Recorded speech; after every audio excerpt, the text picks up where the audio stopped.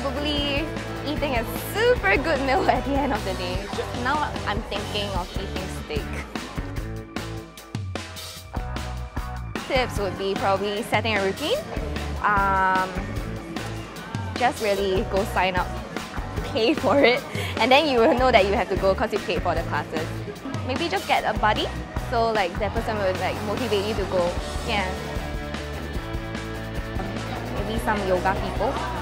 Yeah, because I want to like learn how to do inversions and stuff. Yeah.